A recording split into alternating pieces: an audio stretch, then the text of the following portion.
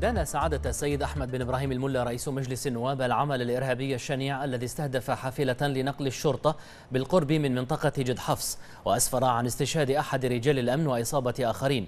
مؤكدا ثقة المجتمع البحريني المتماسك في سرعة القبض على الجنات وتقديمهم للعدالة لأخذ ما يستحقونه من عقاب رادع.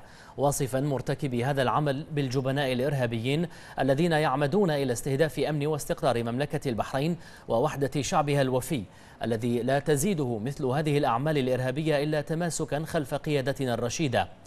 ودعا معالي رئيس مجلس النواب إلى ضرورة التصدي بكل قوة وحزم لكافة الأعمال الإرهابية والمحاولات الفاشلة التي تستهدف ترويع الآمنين والمقيمين على أرض البحرين.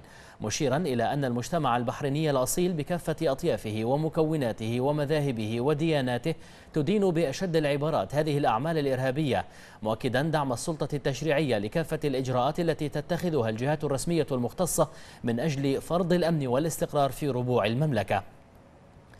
بدوره دان مجلس الشورى العمل الإرهابي الآثم الذي استهدف حافلة لنقل رجال الأمن على شارع خليفة بن سلمان بالقرب من منطقة جد حفص وأسفر عن استشهاد رجل أمن وإصابة آخرين أثناء قيامهم بأداء الواجب.